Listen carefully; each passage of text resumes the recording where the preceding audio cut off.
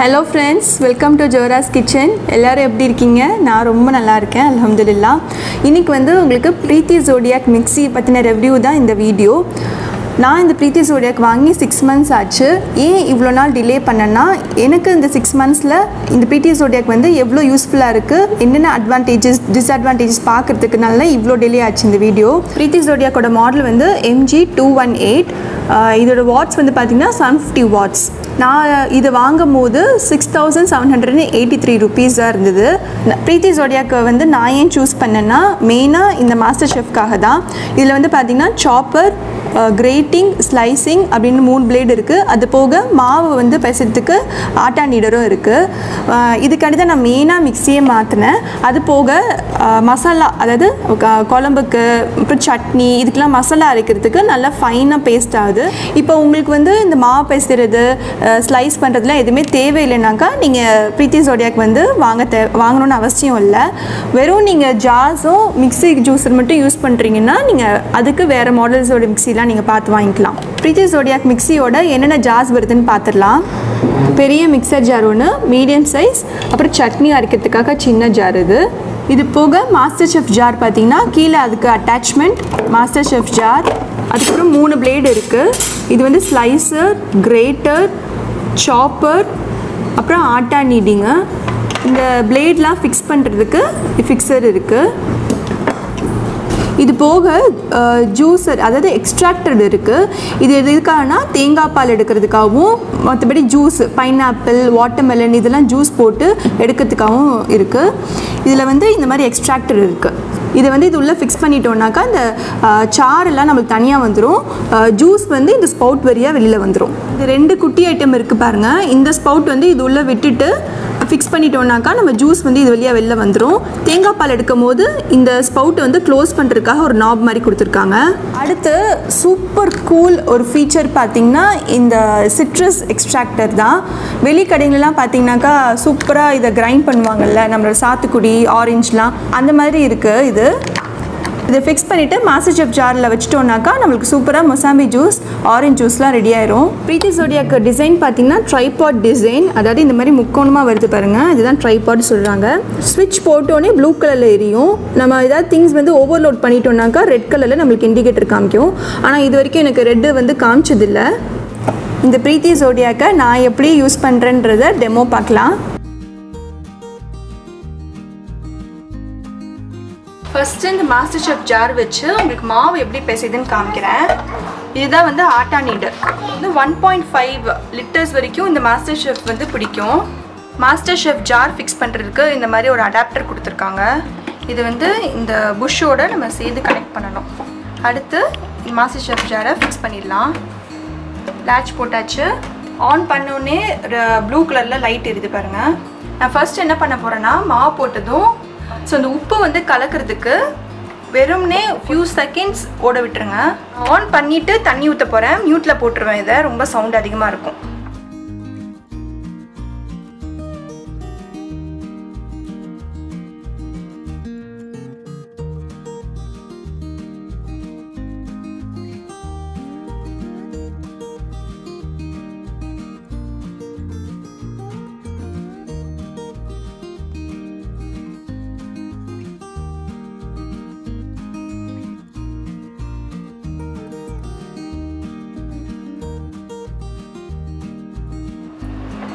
மாவு பாருங்க எவ்வளோ சாஃப்டாக வந்திருக்குன்னு.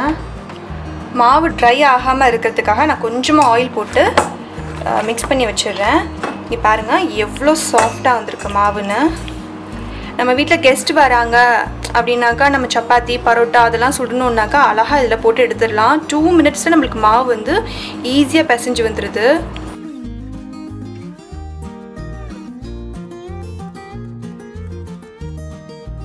நெக்ஸ்ட்டு உங்களுக்கு சாப்பர் எப்படி யூஸ் பண்ணுறதுன்னு காமிக்கிறேன். மாஸ்டர் ஷெஃப் ஜாரை வந்து ஃபிக்ஸ் பண்ணிடலாம். இதுதான் சாப்பர் பிளேட் அது வந்து இது உள்ளே போட்டுடலாம். இன்றைக்கி நான் பீட்ரூட் எடுத்திருக்கேன். நீங்கள் மொத்தமாகவும் உள்ளே போட்டு சாப் பண்ணலாம். நான் ஒன் பை ஒன்னாக போட்டு சாப் பண்ணுறேன்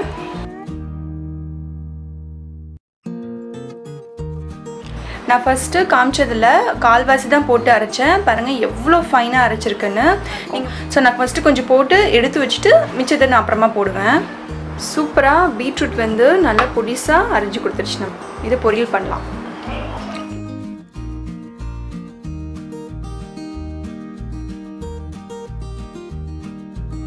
அடுத்து இந்த மாஸ்டர் ஷெஃப் ஜாரில் ஷீக் கபாப் பண்ணுறதுக்காக மட்டன் எப்படி நல்லா மின்ஸ்டாக அரைக்குதுன்னு காமிக்கிறேன். இப்போ நான் எல்லா திங்ஸுமே இது உள்ளே போட்டேன். ஷீக் வேண்டிய திங்ஸ் எல்லாமே இது உள்ளே போட்டுட்டேன். இப்போ நான் அரைச்சி காமிக்கிறேன் உங்களுக்கு. இந்த மின்ஸ்ட் மட்டன் அரைக்கிறதுக்கு பிளேடு பார்த்தீங்கன்னா நம்ம சாப்பர் பிளேடு இருக்கு இல்லையா? அதுதான் யூஸ் பண்ணோம்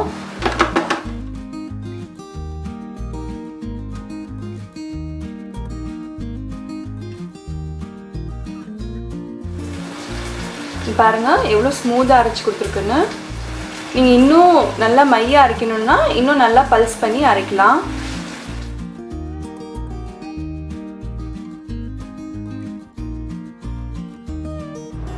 வெங்காயம்லாம் ஸ்லைஸ் பண்ணுறதுக்கு இந்த மாதிரி பிளேட் கொடுத்துருக்காங்க. இதில் வந்து ஃபிக்ஸ் பண்ணுறதுக்கு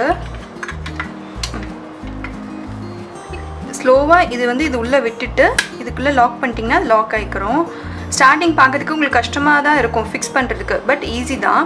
ஒன்ஸ் நீங்கள் அந்த வலியை வந்து கண்டுபிடிச்சிட்டிங்கனாக்கா உங்களுக்கு ஈஸியாக ஃபிக்ஸ் பண்ணிடலாம். இப்போ இது வந்து இந்த மாதிரி ராடு இருக்கு இல்லையா அது உள்ளே விட்டுட்டு இது மேலாப்பில் நம்ம இப்படி ஃபிக்ஸ் பண்ணிக்க போகிறோம் இதுக்கு மேலே மேலே இருக்க கேப் போட்டுட்டு மூடிடலாம். இப்போ நான் ஆனியன் ஆன் பண்ணிட்ட பிறகு தான் ஆனியனை போட்டு நான் அடிக்க போகிறேன் அப்போ தான் வந்து கரெக்டாக நம்மளுக்கு ஸ்லைஸ் ஆகி கிடைக்கும். ஸோ சத்தம் வரும் நான் இதை மியூட் பண்ணிடுவேன்.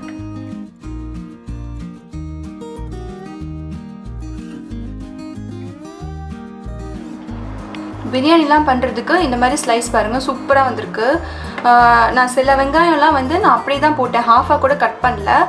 பிரியாணிக்கு நம்ம அப்படியே போகிறதுக்கு இது நல்லா தான் இருக்கும். உங்களுக்கு கொஞ்சம் திக் ஸ்லைஸ் வேணும்னா இந்த மாதிரி ஃபுல்லாக அடிக்கிக்கோங்க. ஆன் பண்ண பிறகு உடனே நீங்கள் புஷ் பண்ணிடணும் ஹார்டாக அப்போ உங்களுக்கு வந்து இந்த மாதிரி கொஞ்சம் பெரிய ஸ்லைஸில் ஆனியன்ஸ் வந்து கிடைக்கும். இது குழம்புக்கு கறிக்கெல்லாம் இந்த மாதிரி இது கரெக்டாக இருக்கும். முதல்ல அரைஞ்சதுக்கும் இப்போ அரைஞ்சதுக்கும் டிஃப்ரென்ஸ் தெரியுது பாருங்க உங்களுக்கு.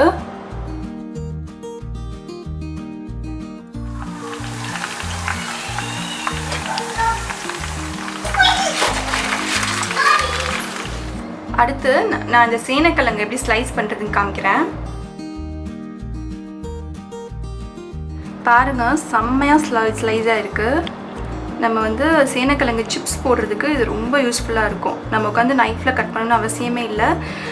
முன்னெல்லாம் நம்ம வந்து ஸ்லைசர் வச்சுருக்கோம் இல்லையா? ஹேண்ட் மேனுவலாக பண்ணுற மாதிரி. அந்த மாதிரியும் கஷ்டம் தானே நம்மளுக்கு. எவ்வளோ தின்னாக வந்திருக்கு பாருங்கள் வித்தின் மினிட்ஸில் இது நம்மளுக்கு பண்ணி கொடுத்துரும். நம்ம ஃப்ரை பண்ணுறதுக்கு அவ்வளோ ஈஸியாக இருக்கும்.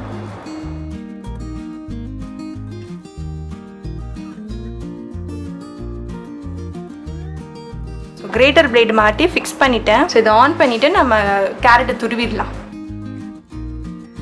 ஸோ இது எப்படி கிரேட் பண்ணியிருக்குன்னு நான் உங்களுக்கு காமிக்கிறேன். கிரேட்டரும் பாருங்களேன் எவ்வளோ மெலிசாக நம்மளுக்கு துருவி கொடுத்துருக்குன்னு.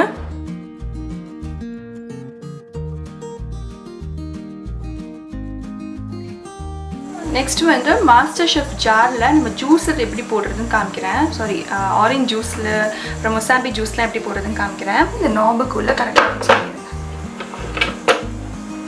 இப்போ நான் ஜூஸர் வந்து ஆன் பண்ண போகிறேன் சத்தம் ரொம்ப வரும். ஸோ நான் அது மியூட்டில் போட்டுருவேன்.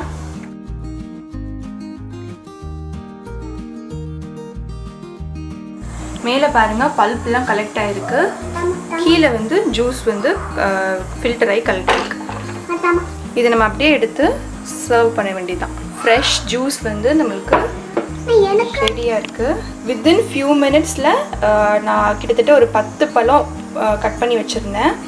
அது எல்லாமே நான் வந்து ஜூஸ் போட்டு எடுத்துட்டேன்.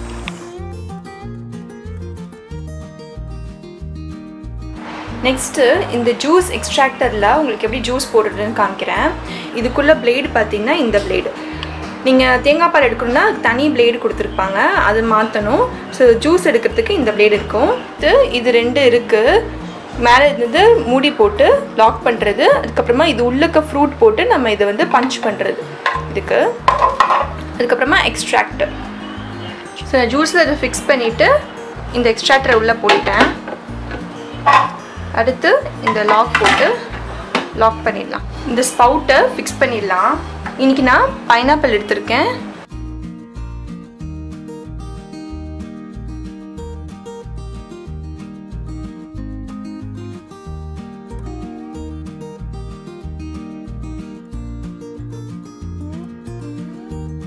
பைனாப்பிள் எக்ஸ்ட்ராக்ட் கிடச்சிருச்சு பாருங்க. இதுக்கப்புறம் நம்ம தண்ணி போட்டு டைல்யூட் பண்ணிக்கலாம் கொஞ்சம். அடிக்கட்டவே தேவையில்லை. செம்மையாக வந்துருச்சு. பைனாப்பிளோட சக்கையெல்லாம் பாருங்கள் இதில் கலெக்ட் ஆகிடுச்சு ஸோ நம்ம இதை எடுத்துட்டோன்னா ஈஸியாக நம்ம எடுத்து குப்பையில் போட்டு க்ளீன் பண்ணிடலாம்.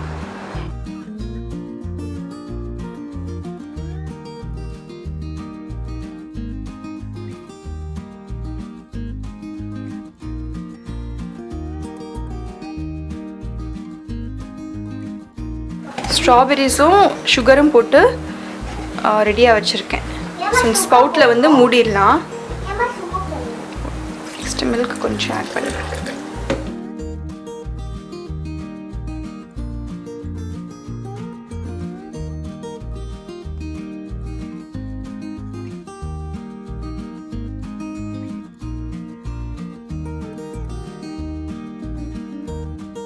நெக்ஸ்ட்டு தேங்காய் பால் எடுக்கிறதுக்காக உங்களுக்கு நான் அந்த கீழே இருக்க இந்த புஷ்ஷை வந்து நம்ம கலட்டிட்டு மாட்டணும்.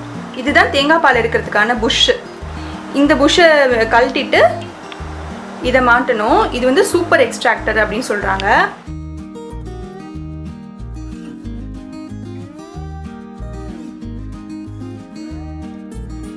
ஈஸியாக தான் இருக்குது வெளில எடுக்கிறதுக்கு. ஸோ மேலே இருக்க புஷ்ஷை கழட்டிட்டு கோக்னட்டுக்கு தனியாக ஒரு புஷ் இருக்குது பால் எடுக்கிறதுக்கு. அதை மாட்டிடலாம்.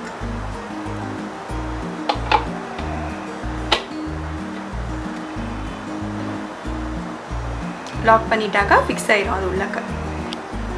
கீழே இந்த நாசில் இருக்குல்ல இந்த ஸ்பவுட் வந்து வெளில வராமல் இருக்கிறதுக்கு இந்த மாதிரி ஒரு நாசில் மாதிரி கொடுத்துருக்காங்க. அதை போட்டு நம்ம மூடிடலாம் அதை. ஸோ தேங்காய் பால் வந்து நம்மளுக்கு வெளியில் வராது. அடுத்து இந்த எக்ஸ்ட்ராக்டர் அதையும் உள்ளே போட்டுட்டு தேங்காவை போட்டு அரைச்சிட வேண்டிதான் நான் காமிக்கிறேன் அதை ஃபிக்ஸ் பண்ணிவிட்டு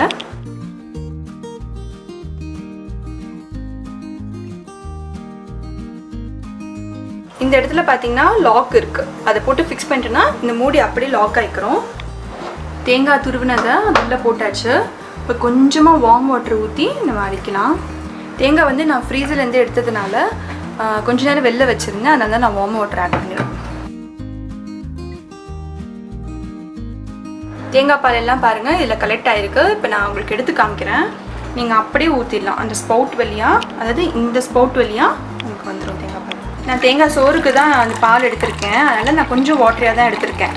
நீங்கள் வேறு எதற்காவது எடுக்கணும் திக்காக வேணும்னா நீங்கள் தண்ணி அளவு கம்மி பண்ணிவிட்டு ஊற்றலாம் வடிகட்டுற டென்ஷனே இருக்காது. நிறைய பேருக்கு நம்ம செய்கிறோம் தேங்காய் பால் எடுக்கணும்னா அழகாக இந்த மாதிரி எடுத்துடலாம். சூப்பராக தேங்காய் பால் வந்து ஹேசல் ஃப்ரீயாக நமக்கு ரெடி ஆகிடுச்சு இப்போ இதுலேயே நான் வந்து ஜிஞ்சர் கார்லிக் பேஸ்ட் அரைச்சி காமிக்கிறேன். நான் தண்ணியே ஊற்ற போகிறதில்ல தண்ணியே ஊற்றாமல் நல்லா ஸ்மூத்தாக அரைஞ்சிடுச்சு பாருங்கள் கொஞ்சம் கொஞ்சம் பல்ஸ் விட்டு விட்டு அரைச்சிங்கன்னா இந்தமாதிரி நல்லா ஸ்மூத்தாக கிடைக்கும். அடுத்து இதில் உங்களுக்கு எப்படி மாவு அரைக்குதுன்னு நான் காமிக்கிறேன். இது வரைக்கும் நான் காமிச்சது எல்லாமே வந்து நான் மல்டிபிள் டைம்ஸ் யூஸ் பண்ணியிருக்கேன். மாவு மட்டும் நான் இது வரைக்கும் இந்த மிக்சியில் ஆட்டினதே இல்லை. இதுக்கு முன்னாடி வச்சுருக்க மிக்சியில் தான் நான் எப்போவுமே மாவு ஆட்டிகிட்டு இருப்பேன். அதனால தான் அந்த மிக்சி போச்சு. ஸோ அதனால் நான் எனக்கு பயந்துட்டு மாவு வந்து இது வரைக்கும் நான் ஆட்டினதே இல்லை. ஈவன் ஆப்ப மாவு கூட நான் ஆட்டலை. சரி அதுவும் ஒரு வாட்டி செஞ்சு உங்களுக்கு காமிச்சிடலாம் எப்படி வருதுன்னு. நான் எனக்கே இதான் ஃபர்ஸ்ட் டைம் நான் பண்ணுறேன் எனக்கும் இது ட்ரையல் தான். இங்கே என்ன இருக்குதுன்னு பார்த்தீங்கன்னா நான் எல்லாத்துலேயுமே கொஞ்சம் கொஞ்சம் எடுத்திருக்கேன். சாம அரிசி இட்லி அரிசி ராகி அப்புறம் பார்லி அதுக்கப்புறம் வீட் கார்ன் இருந்துச்சு. ஸோ அது கொஞ்சம் சேர்த்துருக்கேன். அது போக ராகி கொஞ்சம் இருக்குது எல்லாமே வந்து ஒரு ஃபோர் ஹவர்ஸ் ஊற வச்சுருக்கேன். கொஞ்சம் குவான்டிட்டிங்கிறதுனால இதில் போட்டு நம்ம அரைச்சி பார்க்கலாம் எப்படி வருதுன்னு.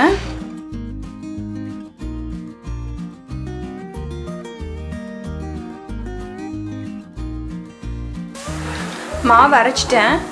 கொஞ்ச நேரத்தில் நல்லா ஸ்மூத்தாக அரைஞ்சிருச்சு மாவு. ஆனால் என்னை பொறுத்த வரைக்கும் நீங்கள் அடிக்கடி மாவு ஆட்டுறீங்கனாக்கா மிக்ஸி வந்து தயவு செஞ்சு யூஸ் பண்ணாதீங்க. கிரைண்டர்லேயே ஆட்டிக்கோங்க. எப்பயாவது ஒரு நாளைக்கு எமர்ஜென்சிக்கு கொஞ்சமாக செய்யணும். இல்லைனாக்கா ஆப்பமாக ஆட்டணும் கொஞ்சமாக அப்படின்னாக்கா நீங்கள் மிக்ஸி இந்த ஜார் பெரிய ஜார் யூஸ் பண்ணி பண்ணிக்கோங்க. ஆனால் அடிக்கடி ஆட்ட வேணாம். ஓகேயா சின்ன ஜாரில் நான் வந்து குழம்புக்கு தேவையான மசாலா அரைச்சி காமிக்கிறேன். நல்லா மைய அரைச்சி கொடுத்துரும். இதனால் எந்த பிரச்சனையுமே இல்லை. சட்னியுமே நல்லா ஸ்மூத்தாக அரைச்சி கொடுத்துரும். குழம்புல போட்டால் திரி திரியாக இருக்காது.